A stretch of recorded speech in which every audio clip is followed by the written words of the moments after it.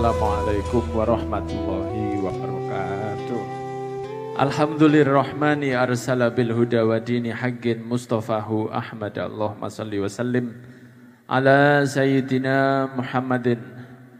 Salatan taghfiru biha jami'ad dhunub wa ala alihi wa sahbihi wa tabi'ina wa man ilaihi qad asyhadu an la ilaha illallah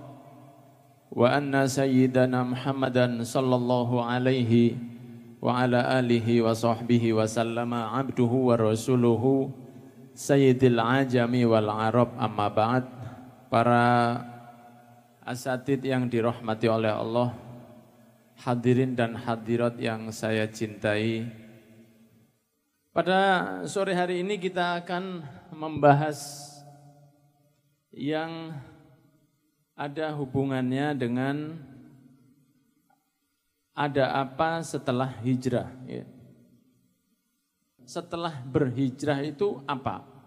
Karena kalau kita terlalu ikut hegemoni hijrahnya saja, tapi tidak mengikuti apa setelah hijrah, maka dari hal itu kita akan nggak dapat hal-hal yang istimewa. Oke, Rasul Shallallahu Alaihi Wasallam itu waktu hijrah naik di Jabal Thur.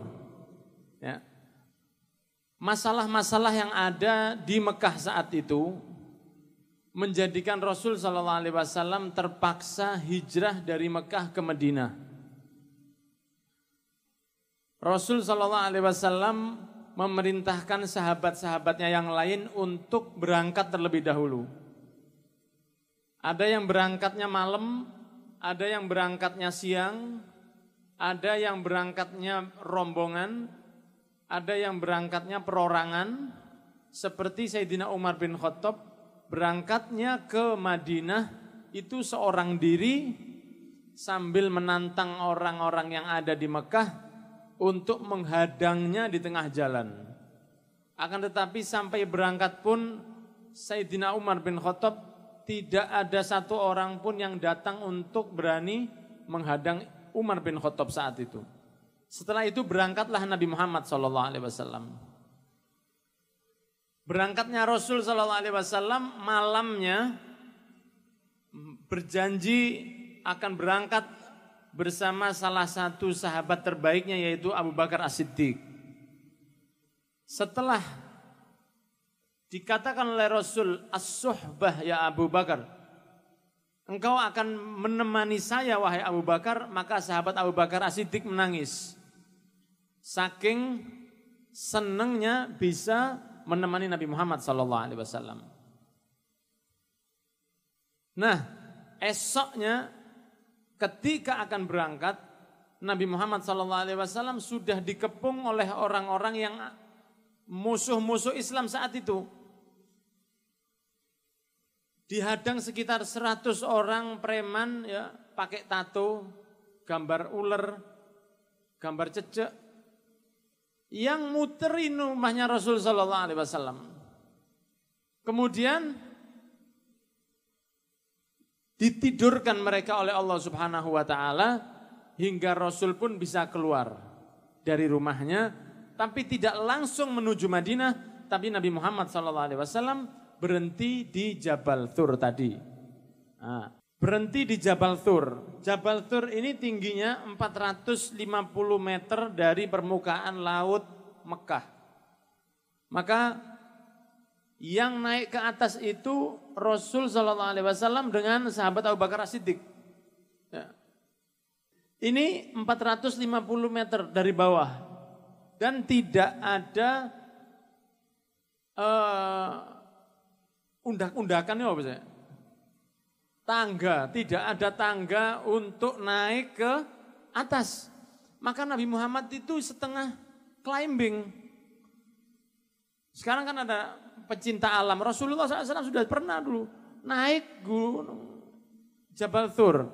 Di atasnya itu ada gua yang namanya Gua Thur.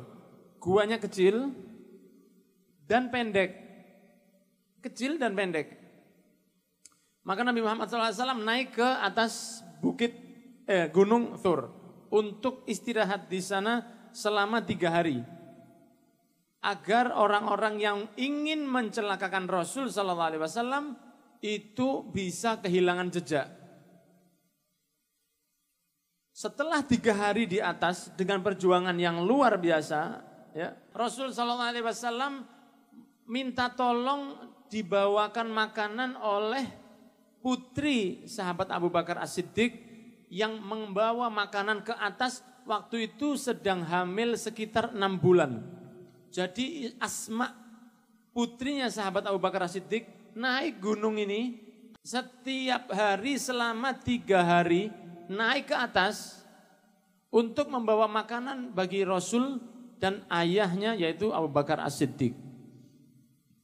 Kemudian hadirin yang dirahmati oleh Allah, setelah tiga hari dengan perjuangan yang luar biasa, dengan tempat yang sangat kecil, Rasul Shallallahu Alaihi Wasallam masuk ke gua itu, seandainya mereka ngintip aja udah kelihatan, tapi dijaga oleh Allah dengan dua makhluknya yang lemah, tapi bisa memberi efek yang luar biasa, yaitu seekor merpati dan seekor kalamangga.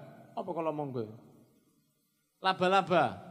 Seekor laba-laba yang menutup pintu gua. Mereka pun musuhnya Islam naik ke atas, orang-orang kafir naik ke atas mencari Rasul dan sahabat Abu Bakar Siddiq.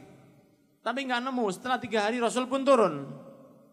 Rasul turun dan memulai perjalanannya. Next, oke, itu ya, bentar.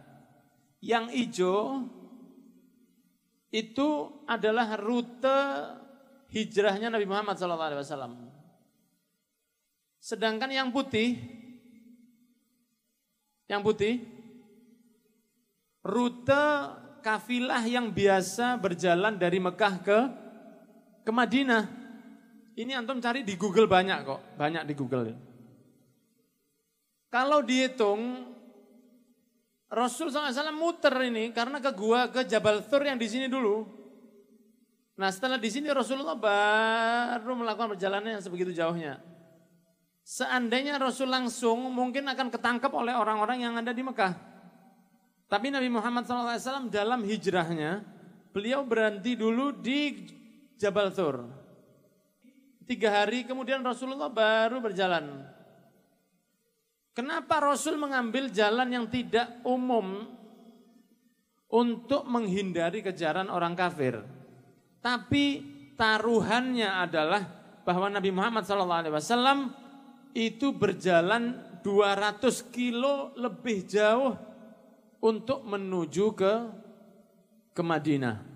Perjalanan yang luar biasa, bukan seperti jalan tol, tapi Nabi Muhammad SAW berjalan di bawah terik matahari dengan menggunakan onta, dengan berbekalan yang seadanya, dengan panasnya padang pasir, dan lain sebagainya. Nah ini 800 km ketutupan apa wilayah? 800 km untuk menyelamatkan umatnya. Rasulullah SAW berjalan dengan panas yang luar biasa.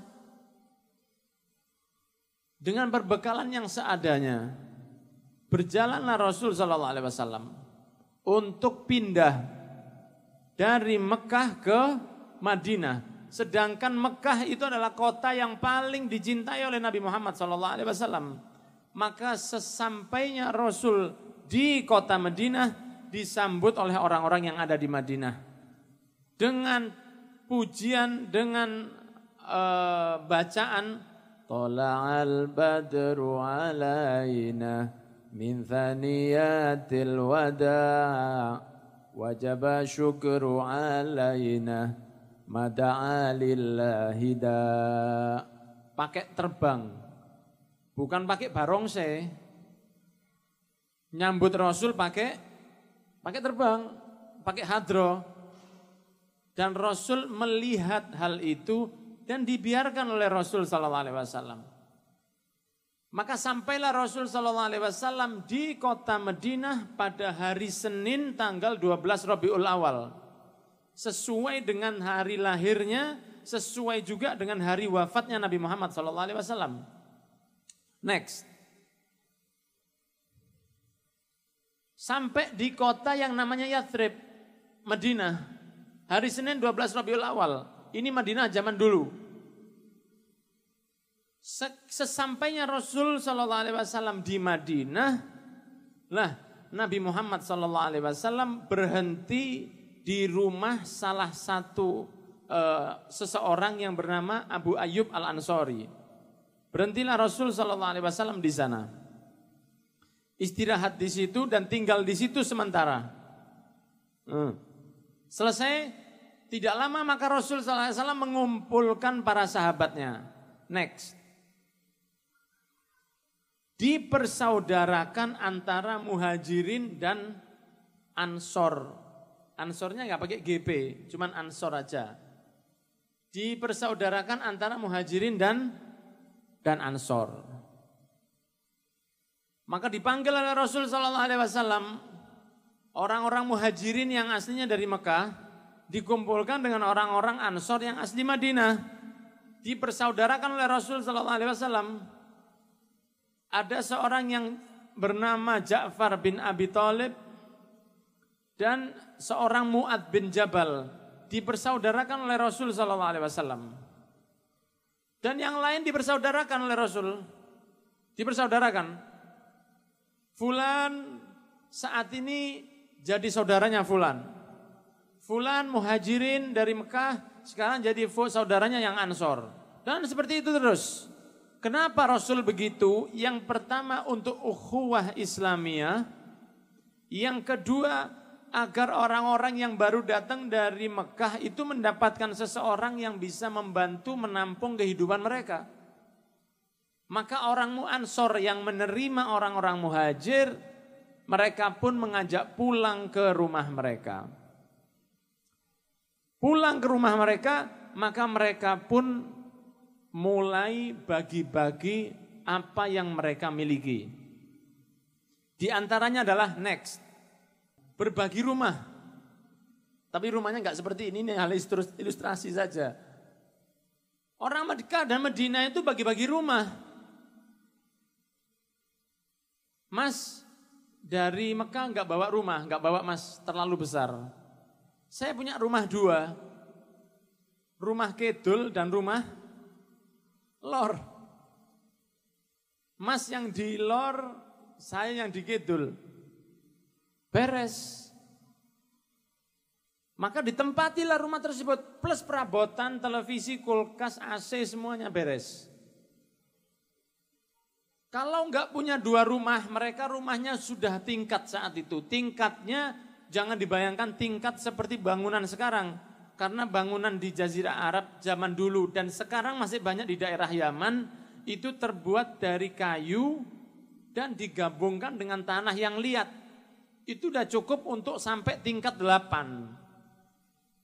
Nah sahabat-sahabat dulu yang punya tingkat eh, rumahnya tingkat dua, maka mereka menawarkan, Mas mau di tingkat satu atau di tingkat dua? Yang penting kalau udah dapet, mereka berbagi dengan seseorang yang datangnya dari Mekah. Berbagi distro juga. Distro sama toko kan sama. Bedak tahu bedak? Tahu bedak? Kan ada bedak berjula satu itu kan ada. Ini mereka berbagi distro juga. Ada yang satu punya toko di pasar. Mas, saya punya toko, tapi bahasa Arab, nggak bahasa mas begini. Saya punya toko. Toko saya, yang satu toko baju, yang satu toko elektronik. Mas mau milih yang mana? Oh saya pilih toko baju aja. Monggo mas. Beserta bajunya dan uang receh buat kembalian orang yang beli. Sak nih, sak isi nih, sak semute, semua. Dikasih, monggo. Itu dulu begitu.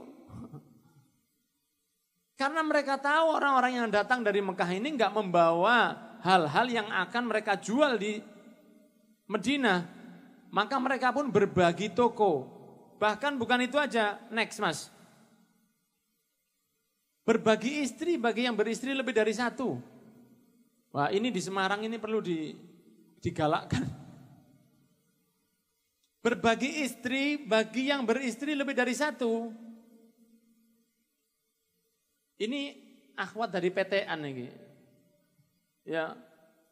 Bagaimana Rasul SAW mengatakan, sahabat-sahabat dari dari orang Ansor mengatakan, saya punya istri tiga mas. Monggo dipilih. Dipilih, dipilih. Kalau udah ada yang cocok, dicerai. Setelah dicerai, ditunggu idahnya dulu. Gak langsung disikat, tunggu idahnya dulu. Setelah empat bulan dinikah. Saking baiknya orang-orang Ansor kepada orang-orang yang hijrah dari Mekah ke ke Madinah. Maka Rasul Shallallahu Alaihi Wasallam setelah hijrah itu enggak Rasul banyak bercerita tentang perjalanannya. Tapi Rasul SAW what after hijrah? Apa setelah hijrah? Apa setelah Rasul sampai di Medina? Itu yang diperhitungkan oleh Rasul SAW. Maka ketika sudah mendapatkan kehidupan yang layak, kabar itu sampai ke orang-orang yang ada di Mekah. Orang-orang Mekah tanya, gimana kabarnya orang-orang yang hijrah? Lo kamu tahu yang jomblo itu. Sekarang udah nikah mas. Lo mosok? Iya. Gimana kabarnya ya teman kita yang nganggur dulu seharian, pengacara, pengangguran banyak acara. Sekarang udah kerja. Dikasih distro sama orang Medina. Yang satu lagi nggak punya rumah. Begitu sampai di Medina, punya rumah.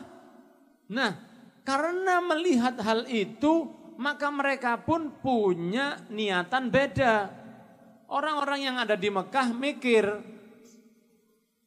kumpul mereka, ya PJM, Perkumpulan Jomblo Mekah itu kumpul. Mereka mikir gimana caranya supaya kita bisa nikah ke Medina.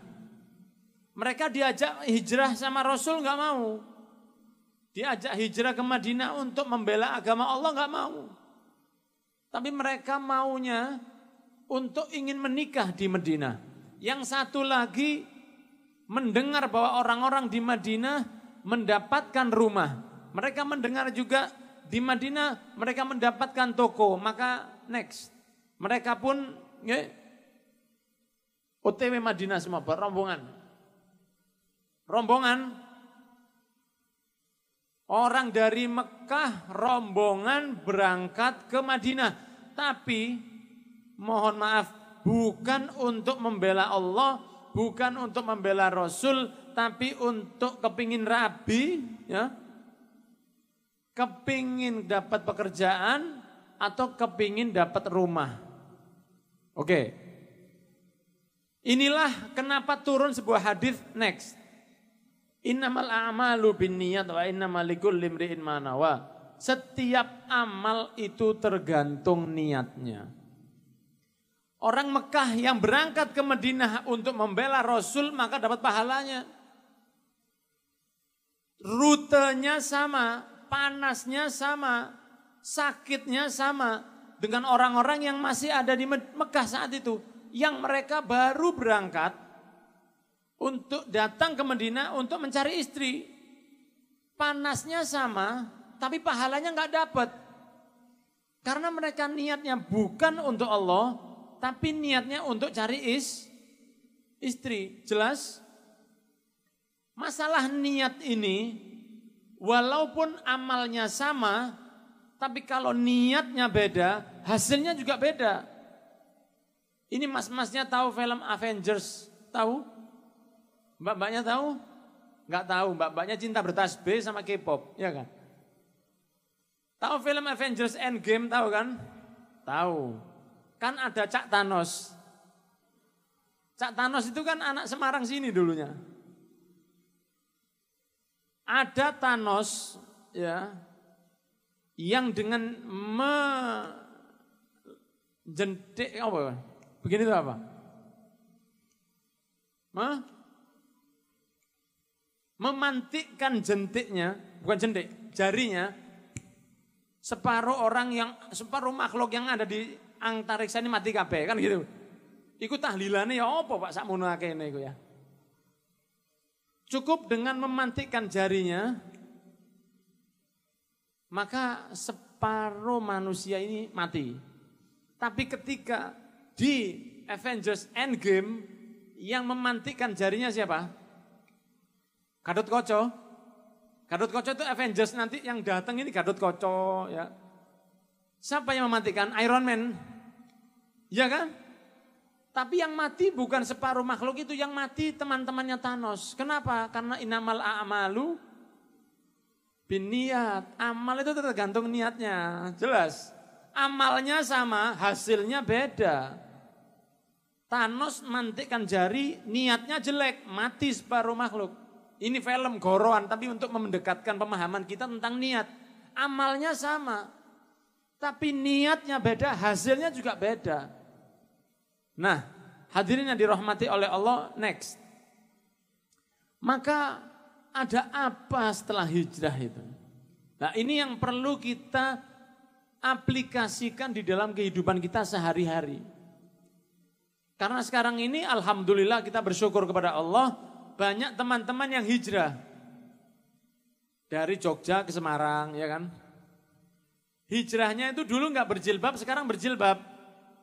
Yang dulunya nggak sholat, sekarang sholat. Yang dulunya belum menikah, sekarang tetap. Yang dulunya nggak ibadah, sekarang ibadah. Yang dulunya nggak puasa, sekarang puasa. Yang dulunya berubah, hijrah. Dan itu baik. Dan itu baik.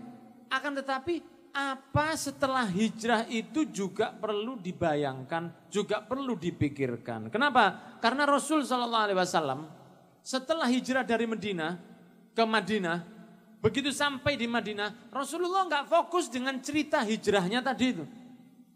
Saya di jalan ketemu ular, saya naik gunung. Rasul nggak cerita itu lama-lama. Tapi lihat yang dilakukan Rasul, mempersaudarakan antara muhajirin dan ansor. Memikirkan ekonomi umat. Rasulullah sampai di Medina membangun masjid Rasulullah sampai di Medina membantu orang-orang yang nggak punya rumah. Rasulullah SAW sampai di Medina membangun peradaban Islam sehingga bangkitnya Islam itu setelah hijrahnya Nabi Muhammad SAW. Maka kita yang hijrah ini setelah hijrah jangan sampai kita tertipu dengan keindahan hijrahnya saja. Tapi setelah hijrah itu apa yang bisa kita lakukan untuk agamanya Nabi Muhammad SAW. Understand? Nah, maka next. Yang terakhir ini adalah apa yang kita lakukan setelah hijrah. Satu, jaga istiqomah. Istiqomahnya dijaga. Istiqomah itu perlu perjuangan. Kalau gak mau berjuang itu namanya istirahat. Istiqomah itu perlu berjuang, perjuangan. Saya mau istiqomah sholat duha. Doa aja nggak cukup. Saya mau istiqomah sholat malam. Doa aja nggak cukup. Harus ada perjuangan dari kita untuk membuat diri kita bisa istiqomah di jalannya Allah. Yang kedua, tambah ilmu agama. Menambah ilmu agama itu di antara cara yang baik bagi orang yang baru hijrah mendekatkan diri kepada Allah Subhanahu wa ta'ala. Berikutnya, cari teman yang soleh atau solihah. Yang perempuan cari teman solihah, yang laki-laki cari teman yang soleh. Kenapa? Karena dengan teman yang baik, kita akan mendapatkan kemudahan untuk terus terjaga melakukan perbuatan yang baik. Kalau laki-laki ingin berhenti merokok, bagaimana caranya? Jangan berteman dengan orang-orang yang merokok. Karena kalau ketemu ditawarin rokok gak enak rokokan lagi. Yang perempuan juga begitu. Yang biasa baru berhijab, jangan kumpul dengan orang yang banyak tidak berhijab. Kecuali kalau Anda tahu dengan kumpul itu, Anda bisa mengajak mereka berhijab setelah Anda. Kalau seandainya Anda kumpul dengan mereka kumat, melepas hijab lagi, maka teman-teman seperti itu wajib ditinggal karena teman itu yang akan membawa seseorang lepas atau semakin kuat di dalam satu amalan. Yang keempat, tanda tambah pun di amal dan bakti sosial agama untuk mendekatkan diri kepada Allah dan tambahan bekal akhirat. Tambah sodakohnya, tambah birul walidennya, tambah cepat-cepat nikahnya, tambah macam-macam Qurannya, ilmunya, semua yang bisa kita lakukan, lakukan. Yang biasa untuk membantu bakti sosial orang-orang yang miskin dan lain sebagainya dibantu dengan harta atau bantuan sosial Anda maka lakukan karena hal-hal tersebut akan mengikat diri nggak sampai lepas dari yang diridhoi oleh Allah. Dan yang terakhir, jagalah sholat lima waktu karena seseorang yang menjaga lima waktunya akan dijaga oleh Allah Subhanahu wa taala sebagaimana Allah berfirman, "Inna sholata tanha 'anil fahsya'i wal munkar." Salat akan menjaga seseorang dari perbuatan keji dan dari perbuatan mungkar. Allahumma sholli ala Muhammad. Maka hadirin hadirat yang dirahmati oleh Allah, kesimpulan dari yang saya sampaikan, apa pun yang kita lakukan dari hijrah meninggalkan hal yang buruk menjadi hal yang lebih baik, ingatlah setelah berhijrah jangan hanya mendapatkan kecintaan dengan kisah hijrah kita, tapi apa yang kita lakukan untuk menjadi semakin baik setiap harinya, semakin istiqomah setiap harinya karena Rasulullah bersabda khairukum man umruhu wa hasuna amaluh. Sebaik-baik kalian yang panjang yang tambah umurnya dan semakin baik amalnya. Sukses terus untuk Muslim Brotherhood dan saya berdoa semoga yang belum dapat jodoh segera berhijrah dan mendapatkan jodoh yang sempurna, diberikan oleh Allah rizki yang luas, diberikan oleh Allah kemudahan yang luar biasa, dan dijadikan oleh Allah Indonesia menjadi negara yang baldatun thayyibatun warabun ghafur. Universitas Unisula dimudahkan untuk selalu membantu dakwahnya para pemuda dan dijadikan oleh Allah kita sebagai orang-orang yang membantu dakwahnya Nabi Muhammad sallallahu alaihi wasallam dimudahkan kita untuk masuk surga bersama Rasul sallallahu alaihi wasallam dan dijadikan kita orang yang berbahagia di dunia wal akhirah. Rabbana la tuzigh qulubana ba'da idh hadaitana wa hab lana min ladunka rahmatan innaka antal wahhab. Wa sallallahu ala sayyidina Muhammadin wa ala alihi wa sahbihi wasallam. Walhamdulillahi rabbil alamin. Jazakumullah khairan kathira. Terima kasih yang tidak terhingga kepada semua panitia dan kru Semoga Allah memudahkan hajat kita. Wassalamualaikum warahmatullahi wabarakatuh.